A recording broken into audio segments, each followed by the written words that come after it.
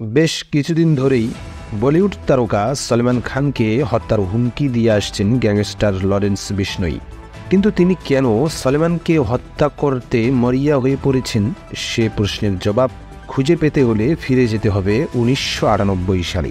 বিষ্ণুই গ্যাংয়ের সঙ্গে তার দ্বন্দ্বের সূত্রপাত হয় উনিশশো আটানব্বই সালের একটি মামলাকে কেন্দ্র করে। তখন সলমান কৃষ্ণসার হরিণের অবৈধ শিকারের সঙ্গে জড়িত ছিলেন। কৃষ্ণসার হরিণ বিষ্ণুই সম্প্রদায়ের কাছে একটি পবিত্র প্রাণী, আর লরেন্স এই সম্প্রদায়ের অন্তর্ভুক্ত। এই অপ্রীতিকর ইতিহাসের কারণে সলমানের প্রতি লরেন্সের গভীর ক্ষোভ রয়েছে, আর সে ক্ষোভ থেকেই তাকে বারবার হত্যা করার চেষ্টা করেছে এই গ্যাংটি। সম্প্রতি ভারতীয় সংবাদ মাধ্যমগুলি জানিয়েছেন, বিষ্ণুই গ্যাং সলমানকে হত্যার কঠিন হুমকি দিয়েছে। এই অভিনেতাকে হত্যার জন্য গ্যাংটি ষাট জন শুটার প্রস্তুতি করেছেন, যা তার নিরাপত্তা নিয়ে বড় ধরনের উদ্বেগের সৃষ্টি করেছে। এদিকে শুক্রবার মুম্বাই ট্রাফিক পুলিশের বরাতে ভারতীয় সংবাদ মাধ্যম জানিয়েছেন, মুম্বাই পুলিশকে একটি হোয়াটসঅ্যাপ বার্তায় সলমান খানকে হত্যার হুমকি দিয়েছে লরেন্স বিষ্ণুই গ্যাং। হুমকি বার্তাটিতে বলা হয়েছে, এটি যেন হালকাভাবে নেবেন না। যদি সলমান খান বেঁচে থাকতে চান ও লরেন্স বিষ্ণয়ের সঙ্গে শত্রুতার অবসান ঘটাতে চান, তবে তাকে অবশ্যই পাঁচ কোটি রুপি দিতে হবে।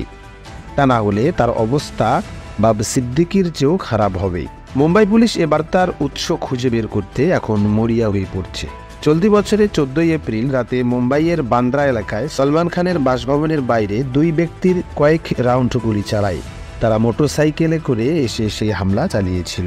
প্রাথমিকভাবে তদন্ত থেকে পুলিশ জানায়, সলমানকে খুন করার কোনো পরিকল্পনা ছিল না হামলাকারীদের।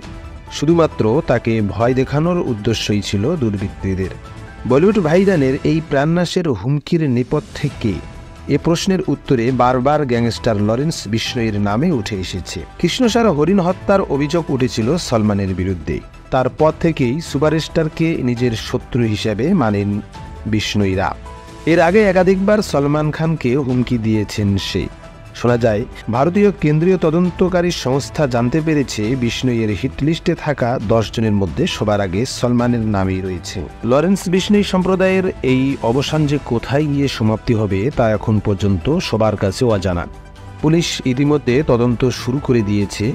তা কি হয়, দেখার অপেক্ষায় থাকবে গোটা ভারতবর্ষ।